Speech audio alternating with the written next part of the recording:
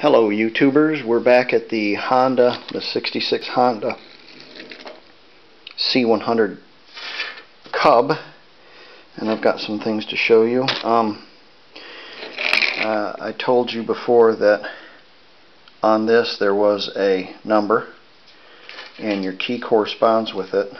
Uh, there's a eBay seller from Thailand and I was able to score two keys. They are used but they work.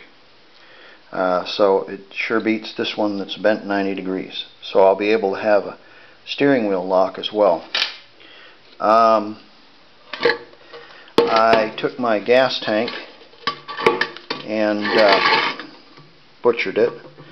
I uh, cut here, here, and same here, and then I cut here and here, and I bent them up, and then I took and put it in my sandblaster and I was able to clean it all up sandblasted on the inside.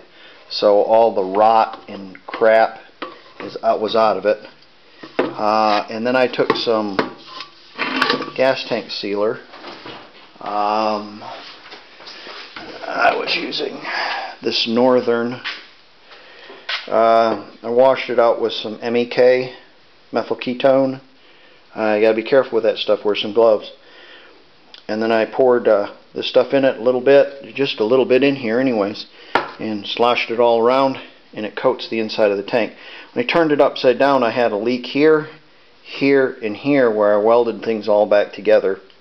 Uh, so I went over it twice again on the outside. I'm just going to paint this white. I'm going to tape up my little deals that say Honda 50.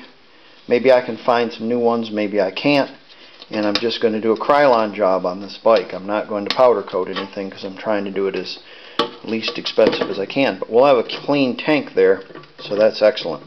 Uh, next thing is our seat. I'm going to work on that today. It's very crunchy. I'm going to take it apart, but the base is not rotted. A little rusty, but it's not rotted, and it still has a latch and such and um, I've got a vinyl top and seat repair place that if I take this down they'll cut me a piece of foam for it. I think this is a two-piece I think. I think there's uh, a bottom section and a top section.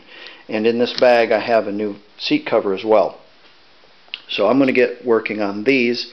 Uh, I took my cylinder down uh, to have it bored and uh, that's going to take a couple weeks because the guy I know is on vacation. So I can work on these two projects. Okay see you next time